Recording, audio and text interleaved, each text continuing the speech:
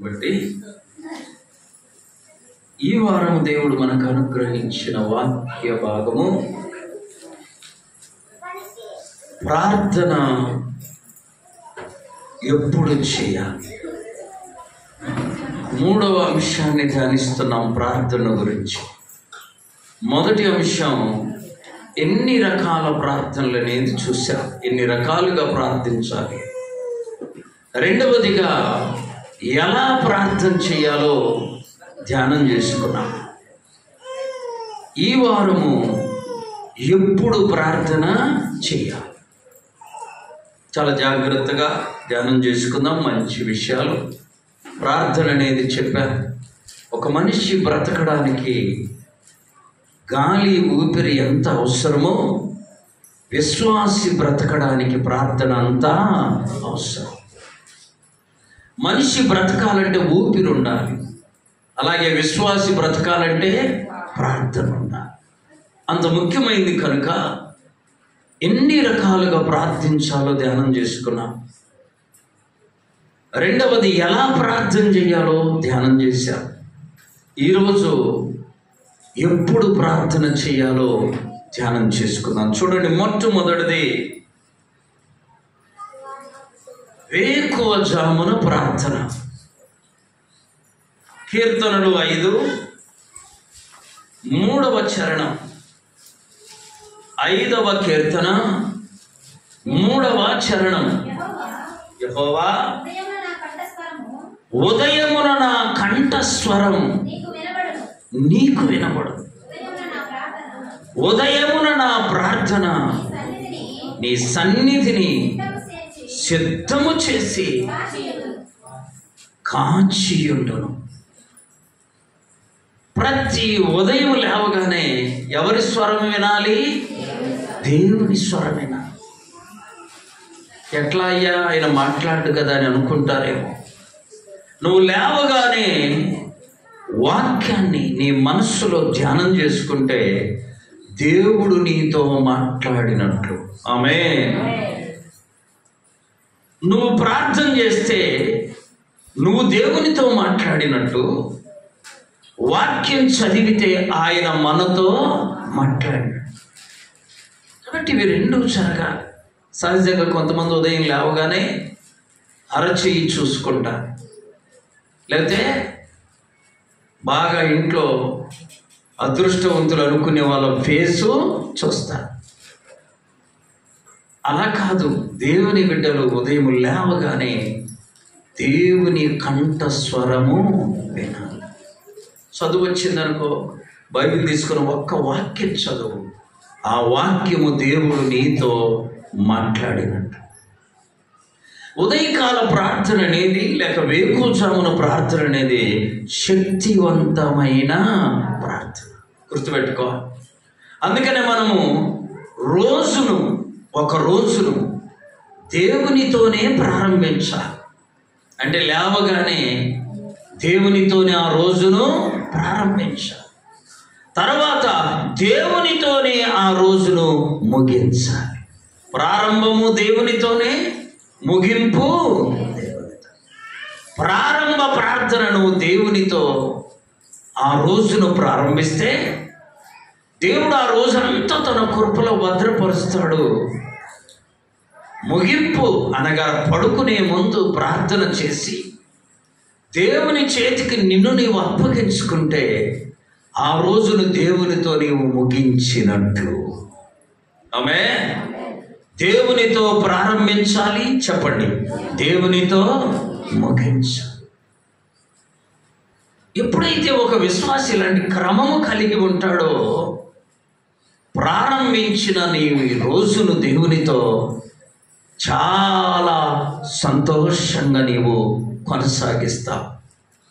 నువ్వు రోజును దేవునితో ప్రారంభిస్తే ఆ రోజంతా నీకు దీవెనకరంగా ఉంటుంది. ఆమె ప్రార్థన లేకుండా ఒక రోజును ప్రారంభిస్తే అది నీకు దీవెనకరంగా ఉండదు. సంతోషకరంగా ఉండదు. అందుకని లేవగానే విశ్వాసి చేయవలసిన ప్రార్థన దేవుని స్వరము వినడం. దావీదు గారు అంటున్నాడు అయ్యా నేను ప్రతి ఉదయమున నీ కంఠ స్వరము వింటాను దేవుని యొక్క స్వరం వింటున్నాడంట. మరి నువ్వు వింటున్నావా? ఆలోచించండి. ప్రభు బిడ్డలో ప్రభుతో ప్రారంభిద్దాం చెప్పాలి ప్రభుతో ముగిద్దాం. ఇది ఒక మంచి క్రమం. చూడండి బైబిల్లో ఇంకా ఎనభై ఎనిమిదవ కీర్తన పదమూడవ చరణం. ఆ, యెహోవా నేను నీతో మనవి చేయించున్నా. ఉదయమున నా ప్రార్థన. నిన్ను ఎదుర్కొనును. నిన్ను ఎదుర్కొను చూసారా? ఉదయాన్నే మన ప్రార్థన దేవునికి ఎదురుగా వెళ్ళాలి. ఉదయకాలంలో ప్రార్థన చాలా శక్తివంతమైన. బైబిల్లో మనందరికీ తెలుసు గొప్ప భక్తుడైన యోబు గారు మొదటి అధ్యాయం యోబు గ్రంథం ఐదో వచనములో ఉంది అరుణోదయమున లేచారు. ఉదయాన్నే లేచి ప్రార్థన చేయడం ఆయనకు అలవాటు. ఉదయాన్నే లేచి ప్రార్థించే క్రమం ఆ కుటుంబానికి ఉన్నది. మనందరి కుటుంబాలు ఉదయకాలము దేవునిని ప్రార్థించే కుటుంబాలుగా ఉండునుగాక. రెండవదిగా చూడండి తొంభై రెండవ కీర్తన మూడవ చరణ. ఉదయమున నీ కృపను ప్రతి రాత్రి నీ విశ్వాస్యతను. పది తంతుల స్వర మండలముతో దేవుని కృపను బట్టి ఆ కీర్తనలోనే నేను ఆ పాట రాశా. ప్రతి ఉదయమునా నీ కృపను ప్రతి రాత్రి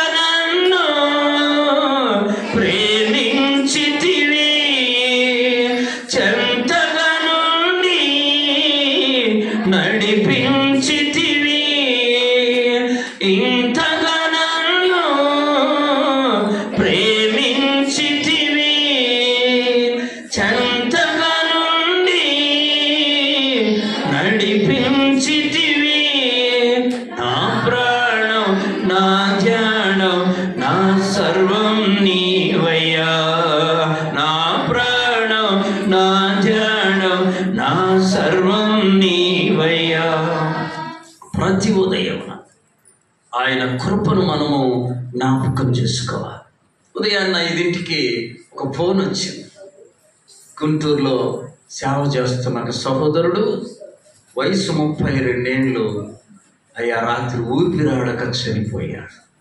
చూసారా ఉదయం ఐదు గంటలకు ఆ ఫోన్ వస్తా ఉంది రెండు మూడు సార్లు ఫోన్ వస్తే ఎత్తేసరికి ఆ వార్త వెంటనే సుడులు తిరిగాయి. వెంట్రుకలన్నీ నాకు. యాభై రెండేళ్ళు యాభై మూడేళ్ళు వచ్చిన ప్రభువా నన్ను ఇంకా బ్రతికిస్తూ అన్నా వెంటనే గుర్తుకు రావా. నువ్వు అనుకుంటున్నావు నాకు ఇరవై ఏళ్ళేలే. నాకు ముప్పై ఏళ్ళేలే ఇంకా వయసు ఉందిలే తప్పండి. ఇరవై రెండు సంవత్సరాలు. ఒక రెండు రోజుల క్రితం దొనకొండ అబ్బాయి. ఇరవై రెండేళ్ళు అంటే మన లెక్కలో చాలా మంచి వయసు యవన ప్రాయం గుండె నొప్పి వస్తుంది గుండె నొప్పి వస్తుంది అన్నారు గుంటూరు తీసుకెళ్తాడు మధ్యలోనే చనిపోయాడు. చూసా ఎంత ఆశ్చర్యం వేస్తుంది. మరి నీ వయసు యాభై అవ్వచ్చు అరవై అవ్వచ్చు నలభై అవ్వచ్చు. అంతకంటే రెండంతల వయసు ఉంది కదా. దేవుడు నిన్నేం చేస్తున్నాడో ఉదయ కాలంలో లేపుతున్నాడు. చప్పటగొడి ప్రభువు ప్రభుత్వమై ప్రభు నిన్ను లేపాడు. అలాగే పడుకోకుండా నిన్నేం చేశాడు ఆయన? లేపాడు. ప్రతి ఉదయమున ఆయన కృపను మనము ధ్యానం చేయాలి. దావీదు గారు అంటున్నాడు ప్రతి ఉదయమున నీ కృపను ప్రతి రాత్రి నీ విశ్వాస్యతను పది తంతుల సితారాతో నేను నిన్ను స్థుతిస్తా ఉదయకాలం దయచేసి ప్రార్థన లేకుండా ఎవరు బ్రతకకూడదు. ఆమె చూడండి ఇంకొక వాక్యంలో మనం గమనిస్తాం. మార్కు సువార్త మొదటి అధ్యాయము ముప్పై ఐదో వచ్చిన ఆయన పెందలకడనే లేచి ఇంకను చాలా చీకటి ఉండగానే బయలుదేరి అరణ్య ప్రదేశమునకు వెళ్ళి అక్కడ ఏం చేసేవాడు? ప్రార్థన చేసేవాడు. ప్రార్థన చేసేవాడు. చూడండి మన ప్రభువే ఎప్పుడు లేచేవాడు? అందరికీ లేచేవాడు మరి నీకు నాకు ఆ క్రమం ఉండొద్దా? ఆలోచించండి. ఏ వ్యక్తి ఉదయము లేవడో? జాగ్రత్తగా వినండి. ఏ వ్యక్తి ఉదయ కాలము లేవడో ఆ వ్యక్తిలో దయ్యం ఉంటుంది దరిద్రం ఉంటుంది ఏ వ్యక్తి వేకు జామున లేస్తాడో ఆ ఇంటిలో దేవుని ఆశీర్వాదాలు ఉంటాయి చప్పట్లు కొట్టి ప్రభుత్వం ఎంత మంచి విషయాలు ఎంత మంచి విషయాలు. జాగ్రత్తగా ఆలోచించి ధ్యానం చేయాలి. ప్రతి ఉదయమున మన జీవితాల్లో ఏముండాలి? ప్రార్థన. యశు ప్రభుకి ఆ క్రమం ఉందండి. ఆయన జన్మ పరిశుద్ధం. ఆయన మాట పరిశుద్ధం. ఆయన పరిశుద్ధుడైన దేవుడు అయ్యుండి ఎప్పుడు లేచేవాడు? మరి నువ్వు నేను మట్టితో చేయబడిన వారు మరి మనం ఎక్కువ జమున లేవకపోతే ఎలా? చూడండి ఇంకా వాక్యములు యహోశుభ గ్రంథం ఆ ఎనిమిదో అధ్యాయం పది వచ్చిన యహోశువ వేకువనే లేచినప్పుడు లేచి ఎప్పుడు లేచాడంట? ఏ పని లేదులే అనుకుంటున్నారు. బోల్డంత పనుంది యహోశువ దేవుడు ఇస్రాయేలీలు నడి నడిపించడానికి మోసే తర్వాత యహోశువాను ఎన్నుకున్నాడు. చాలా పని ఉంది ఇస్రాయేలీలు లక్షల మంది. మన ఇంట్లో ఒక పది మంది చుట్టాలు వస్తే మనకు తీరదు. కదా? మరి లక్షల మందిని నడిపిస్తున్న యహోశువాకు కూడా పని ఉంటుంది. కానీ ఇప్పుడు ఇచ్చేవాడు ఆయన వేకు. మూడో అధ్యాయం మొదటి వచ్చిన. యహోశువ వేకు అనే లేచి. ఇంకా క్రమం పోతుంది నువ్వు ఎక్కువ జామున లేవడము. నువ్వు నేర్చుకుంటే నీ బిడ్డలకు ఆ క్రమము నీకే వేకువన లేచి అలవాటు లేకపోతే నీ బిడ్డలకు ఆ అలవాటు రాదు. గుర్తుపెట్టుకో. మనం ఏకువని లేచి అలవాటు కలిగి ఉంటే ఆ అలవాటు మన బిడ్డలకు కూడా వస్తుంది. వస్తుంది. నీవు ఆ క్రమాన్ని కలిగి ఉండాలి. చూడండి ఇంకా విలాప వాక్యముల గ్రంథం రెండవ అధ్యాయం పంతొమ్మిదవ వచ్చిన నీవు లేచి రేయి మొదటి జామున మొరపెట్టాలి ఎందుకంట? నీ పసిపిల్లల ప్రాణము నిమిత్తం నీ చేతులు దేవుని తట్టు. మన పిల్లల కొరకు మనుషులు యాచించమాక యాచించమాక. దేవుణ్ణే యాచిద్దాం.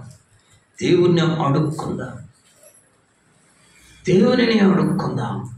దేవుని యొద్దనే యాచిద్దాం యాచించటం అంటే అడుగుకోవడం నీ పిల్లల భవిష్యత్తు దేవుని చేతుల్లో ఉంది. దేవుని చేతుల్లో ఉంది. ఆ ప్రభువుకు నీ చేతులు చాపి నీ పిల్లల కొరకు యాచన చేయి అడుగు. అప్పుడు నీ బిడ్డలు బహుగా దీవించబడతారు. శోధనలు రావని నేను చెప్పట్ల వస్తాయి. కాకపోతే జయము నీకే ఉంటుంది. చప్పట్లు కొట్టి ప్రభును మయం శోధనలు రావు అని నేను చెప్పట్లేదు కానీ వస్తే ఎదుర్కొనే శక్తిని దేవుడు నీకే ఇస్తాడు. ఏ మొదటి జాము. టిఎల్ మూడి అనే ఒక గొప్ప దైవశనుడు తన సాక్ష్యము రాస్తూ అన్నాడు నేను ఇంత ఉన్నతమైన స్థానానికి రావడానికి కారణం నా తల్లి ప్రార్థన. చప్పట్లు కొట్టి ప్రభువును మహిమ. ఎవరంట? నా తల్లి ప్రార్థన.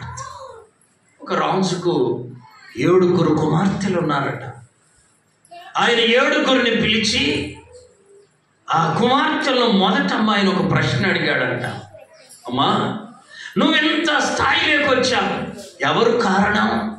అని అడిగితే రెండు చేతులు ఎలా పెట్టి నానా నువ్వే కారణం నువ్వే నన్ను ఇంత దాన్ని చేశావు ఇంతగా చదివించావు ఇంత ఉన్నతమైన స్థితికి చేర్చావు సరే నువ్వు వెళ్ళు వెళ్ళిపోయింది. రెండో కూతురును పిలిచాడు. ఆమెను అలాగే అడిగాడు. ఆమె కూడా ఏం చెప్పింది తెలుసా? నా ఈ స్థాయికి కారణము నువ్వే. చివరిగా ఏడో కూతురు వచ్చింది. అమ్మాయి రాగానే ఈ ప్రశ్న వేశాడమ్మా నువ్వు ఇంత గొప్పదానివి కావడానికి కారణం ఎవరు? నానా ఇంత గొప్పదాన్ని కావడానికి మొదట నా దేవుడు కారణము. చప్పట్లు కొట్టి అనిందంట అమ్మాయి తండ్రి కోపం వచ్చింది ఆరుగురేమో నేనే కారణం అని చెబితే ఈ అమ్మాయి దేవుడు.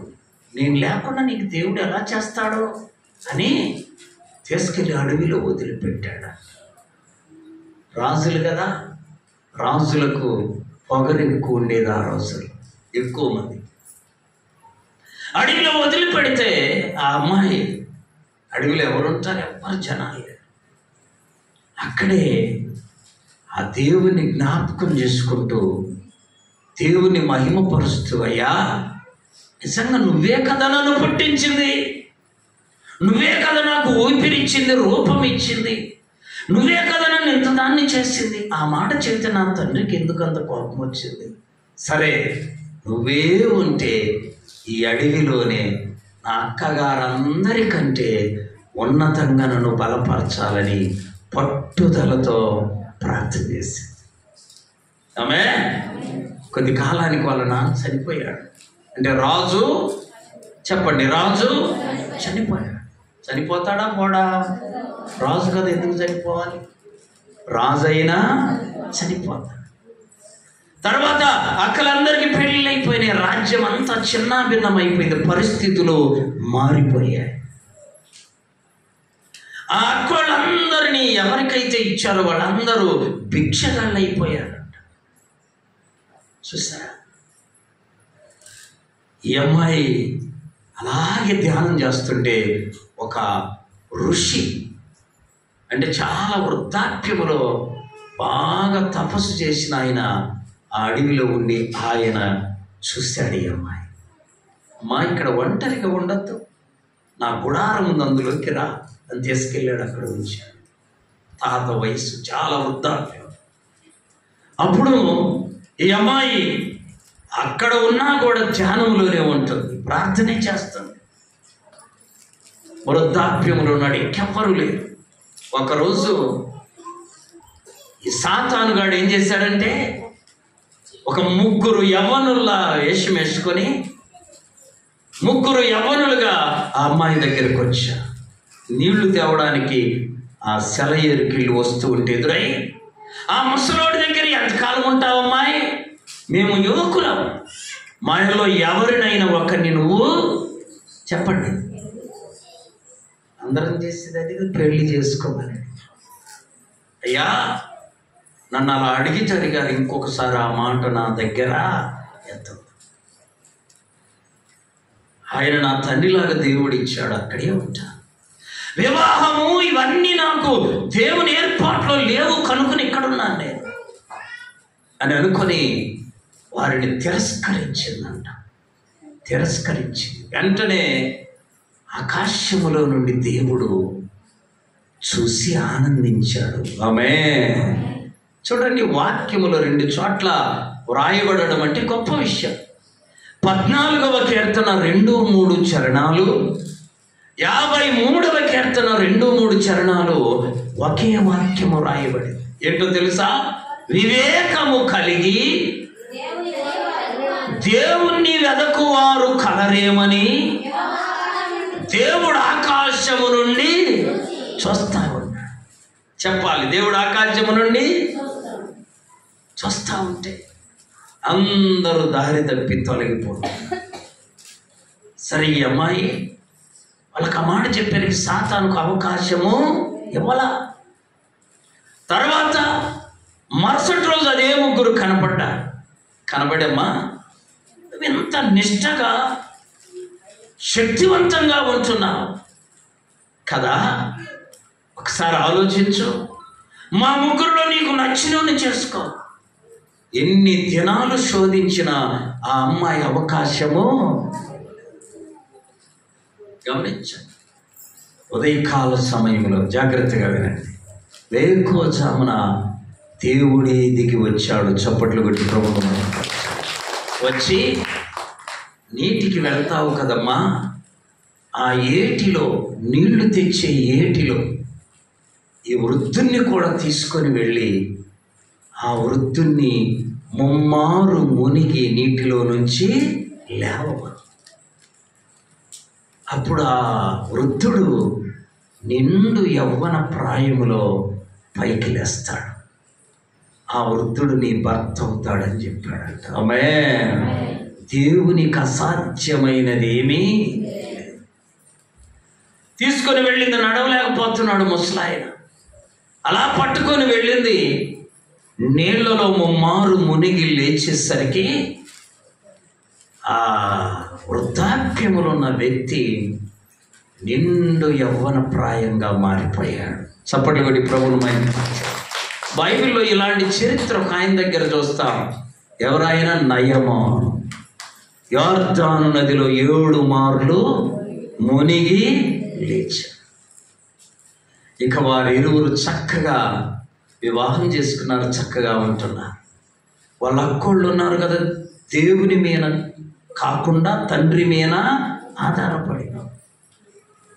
ఈ అడవిలో చెట్లు కొట్టుకొని అమ్ముకునే స్థాయిలో అడవికి వచ్చేసారు రోజు వచ్చి చెట్లు కొట్టుకోవడం కొన్ని కట్టెలు కొట్టుకొని వెళ్ళి అమ్ముకొని బ్రతుకుతున్నా. ఒకరోజు తన యొక్క చెల్లెలు ఎదుటికి వస్తారు చెట్లు కొట్టి కట్టెలు కొట్టి మోపు కట్టుకొని దాహం వేస్తుంటే నీళ్ళ కొరకి ఇంటికి వస్తాను. వచ్చేసరికి అమ్మా కొంచెం నీళ్ళు ఇవ్వండి అనగానే చెల్లెలు నీటి సెంబుతో బయటికి వచ్చి చూడగానే ఎంత ఆశ్చర్యపోయింది. నువ్వేనా? అవును నేను మీరందరూ బ్రతకడానికి బ్రతికించడానికి జీవించడానికి తండ్రి కారణమని చెప్పారు. నేనైతే అది నమ్మలా. నాకు కారణం మాత్రము దేవుడు ఉదయకాల ప్రార్థనలో దేవుడు నిన్ను కలుసుకుంటాడు. ఆమె అందుకని ఇప్పుడు మనము వేకువజామున ఉదయకాలమున మనుషులను అర్జించకుండా యాచించకుండా నీ చేతులు దేవుని తట్టు చాప. చూడండి వాక్యం మనం గమనిస్తే రెండవ ప్రార్థన ఎప్పుడు చేయవలసిన మాటను మనం ధ్యానం చేస్తే మధ్యాహ్న కాలమున. అపోస్తుల కార్యముల గ్రంథం పదవ అధ్యాయము తొమ్మిదవ వచ్చిన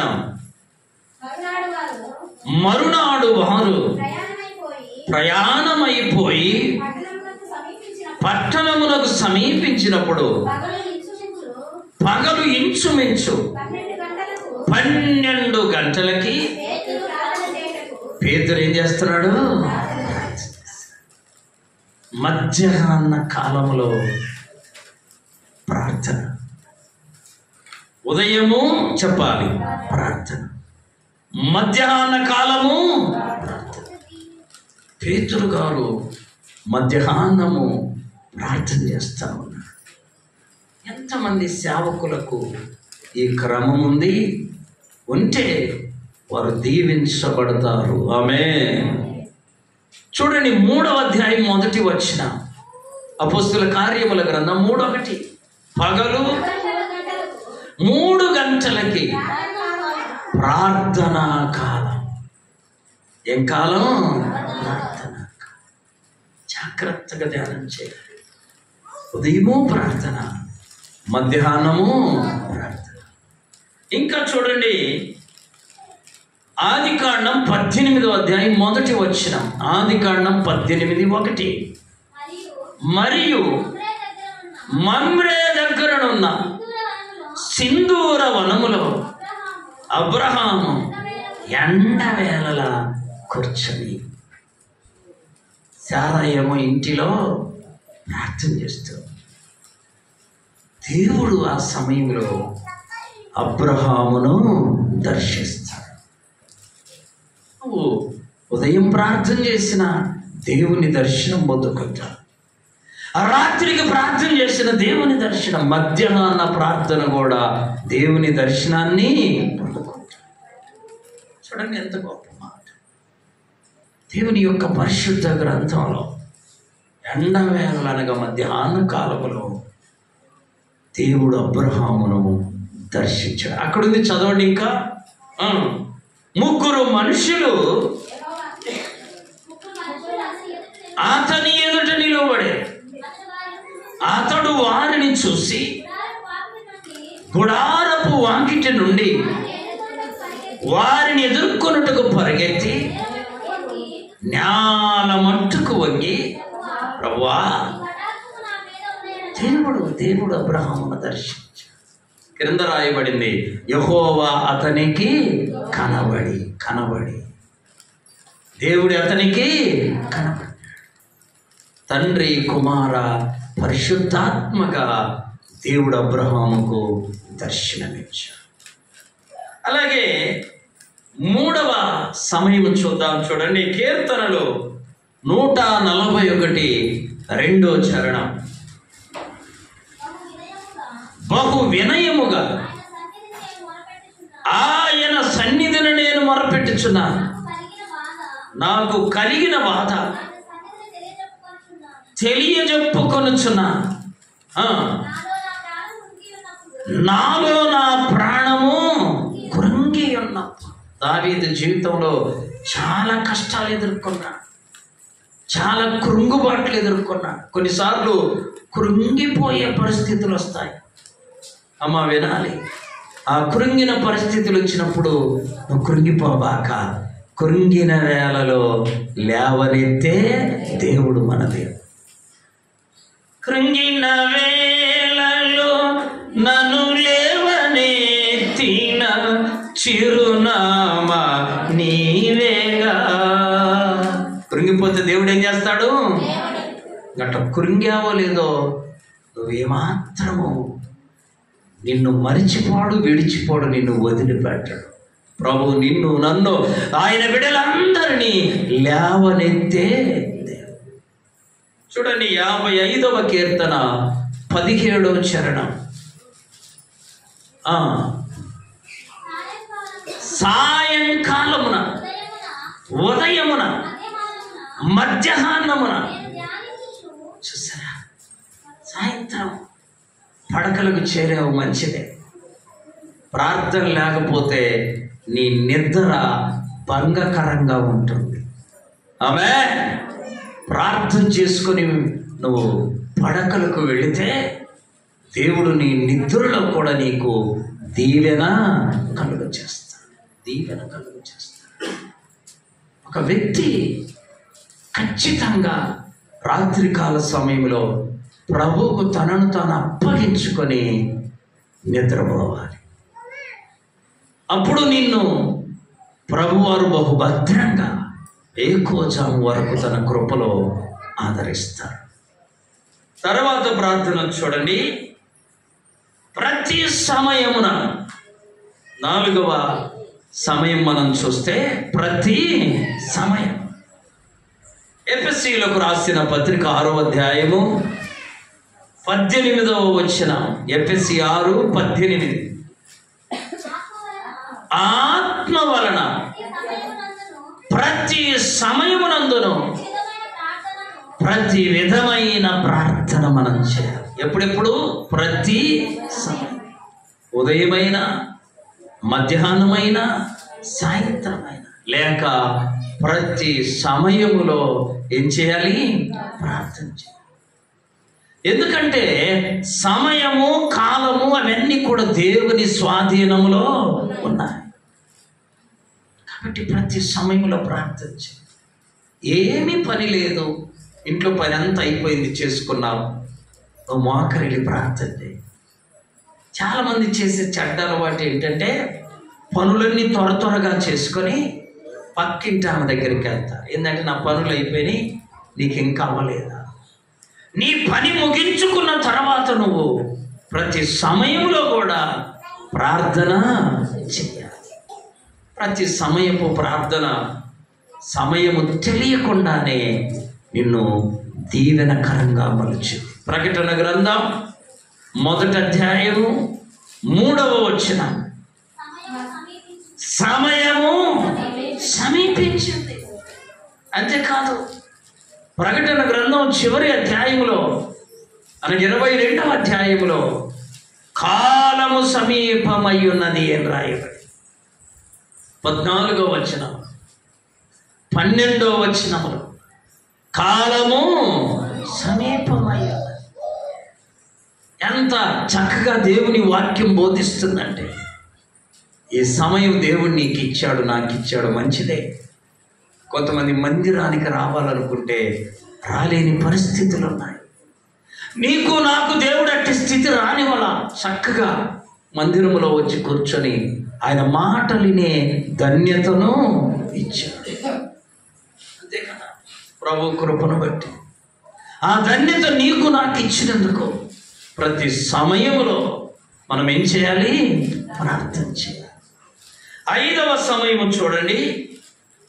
గలతీయులకు రాసిన పత్రిక నాలుగవ అధ్యాయం ఆరో వచ్చిన ప్రతి విషయములో మరియు కుమారులై ఉన్నందున ఆ,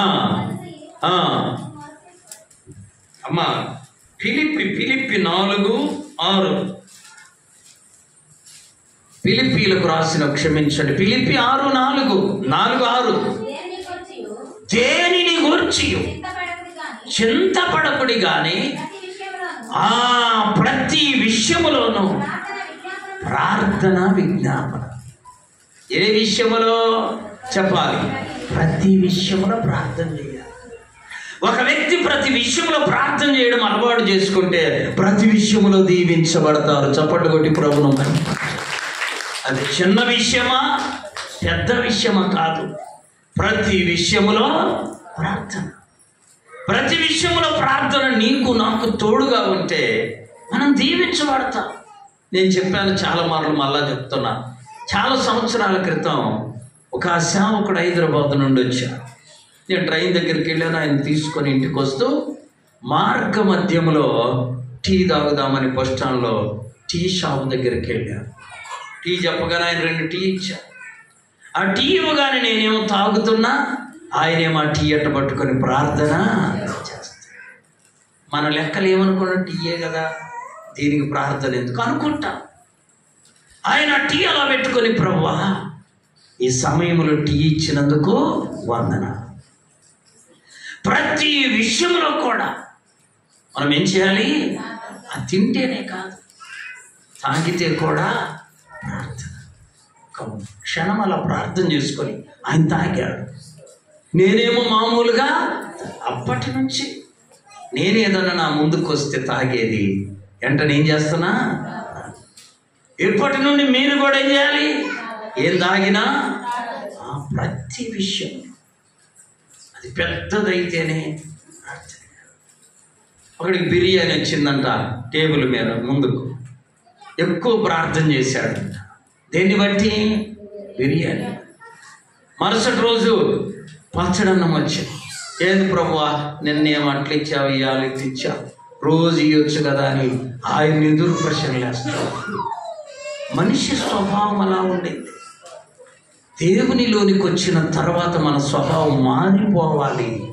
దేవుని స్వభావముగా మారాలి. ఈరోజు మనకిచ్చిన దాన్ని బట్టి ఆయన స్థుతించాలి ఒకవేళ రేపు ఇవ్వకపోయినా ఆయన ఏం చేయాలి? యోగు గారు ఏమన్నాడు? దేవుడే ఇచ్చాడు. దేవుడే తీసుకున్నాడు. దేవునామానికి మహిమ. ఇచ్చినప్పుడు స్తుతించాడు తీసుకున్నప్పుడు కూడా స్తుతించాడు. ఇది ప్రతి విషయంలో మనం ఏం చేయాలి? ప్రార్థించాలి. నీకు అనుకూలం ఉన్న దానిలో ప్రార్థన చేసి ప్రతికూలం ఉన్న దానిలో ప్రార్థన అనుకోకూడదండి ప్రతి విషయములో ప్రార్థన. తర్వాత దేవుని యొక్క వాక్యములో చూడండి. లోకాసు వార్త పద్దెనిమిదో అధ్యాయం మొదటి వచ్చిన నిత్యము ప్రార్థన. ఆమె ఆ, నిత్యము. నిత్యం చేస్తే బ్రతికేదంట? ఆయనే బ్రతికిస్తాడు. ఆమె ఆ నిరీక్షణ నీకు ఉండాలి కానీ నిత్యము ప్రార్థన చేస్తే నీ నాయనే బ్రతికిస్తాడు. ఇప్పుడే చెప్పుకున్నా రాజకుమార్తె ఏడవ అమ్మాయి నిత్యము దేవుణ్ణే స్థుతించింది. దేవుణ్ణే జ్ఞాపకం చేసుకుంది దేవుడినే వెంబడించింది. ఆమెకు దేవుడు ఏ కొరత చేయలా. తుదకు వృద్ధాప్యములున్న వ్యక్తిని కూడా దేవుడు ఏం చేశాడు? యవ్వనస్తునిగా మార్చాడు.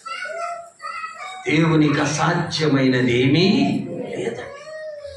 కాబట్టి నిత్యము ప్రార్థన. ఆమె నిత్యము ఒక వ్యక్తి నిత్యము ప్రార్థన చేయడం అలవాటు చేసుకుంటే ఆ వ్యక్తి నిత్యము దేవుని కొరకు మండుచుంటాడు చప్పట్లు కొట్టి ప్రభును మరి దేవుని కొరకు ఆ వ్యక్తి నిత్యము మండుచుంటాడు. ఆ మంట ఆరిపోనివ్వకూడదు. ఆరిపోనివ్వకూడదు. మనకు బాగా అర్థమయ్యేటట్టు చెప్తాను. చూడండి. పొయ్యిలో వెలుగు వెలిగించాము నిప్పు వెలిగించాము.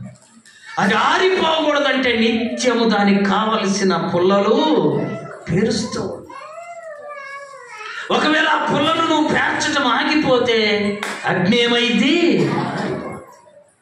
నిత్యము మనము దేవుణ్ణి స్తుతిస్తూ జ్ఞాపకం చేసుకుంటే మన దీపము ఎన్నాడు ఆరిపోదు.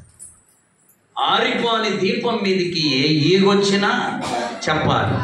ఏ దోమ వచ్చినా దీపం మారిపోదు అది కాలిపోద్ది దీపం మారిపోదు కానీ దీపం మీదకి వచ్చిన దోమ కాలిపోద్ది గుర్తుపెట్టుకోవాలి.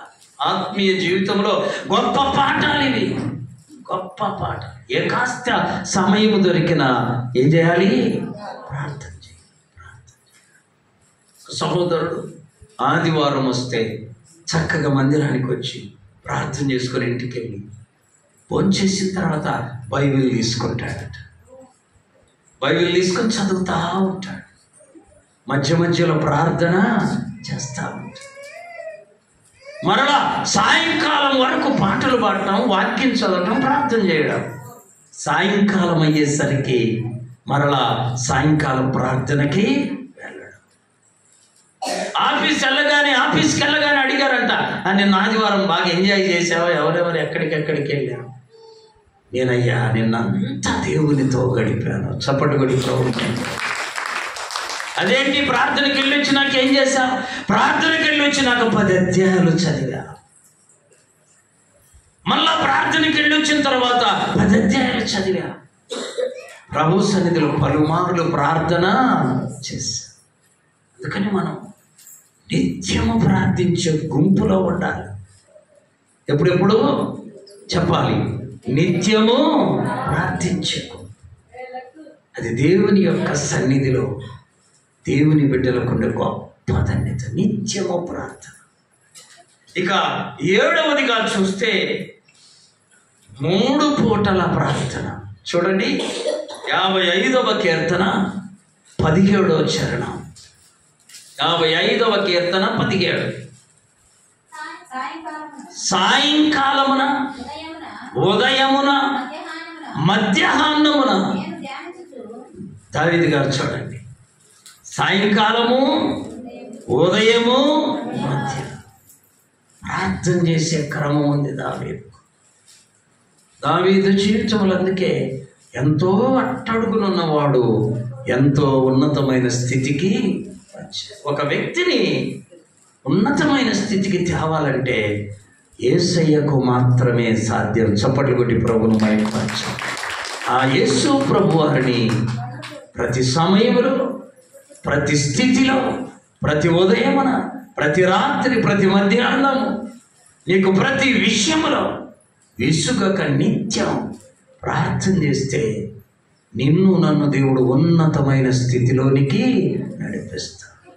దావీదు భక్తుని జీవితంలో ముమ్మారే కాదండి.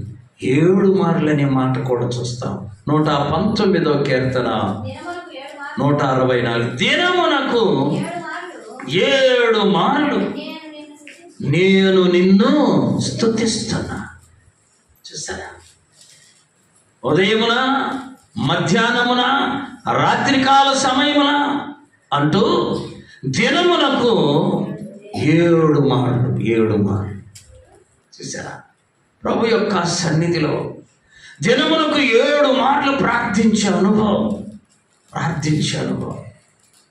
దావీదు భక్తుని జీవితంలో చూస్తాం. ఆత్మీయ జీవితంలో చూస్తాం. కాబట్టి ప్రార్థన మూడో అంశాన్ని మనం ధ్యానం చేస్తాం మొదటిది ఎన్ని రకాల ప్రార్థన ధ్యానించుకున్నాం? రెండవది ప్రార్థన ఎలా చేయాలనే దానిని ధ్యానించాం మూడవదిగా ఈ వారం ప్రార్థన ఎప్పుడూ చేయాలి. ఉదయమున ప్రార్థన మధ్యాహ్నమున ప్రార్థన రాత్రి కాలము ప్రార్థన ప్రతి విషయములో ప్రార్థన ప్రతి సమయములో ప్రార్థన నిత్యము ప్రార్థన. మూడు పూటల చెప్పాలి. మూడు పూటల అందరము దాదాపుగా మూడు పూట్ల తింటాం. కనీసం ఆ తినే ముందైనా మూడు మార్లు రోజుకు ప్రార్థన చేసుకుంటే దేవుడు మనల్ని అత్యధికంగా ఆశీర్వదిస్తాడు. అట్టి కృప పరిశుద్ధాత్మ దేవుడు వాక్యం విన్న మనందరికీ దయచేయునుగాక.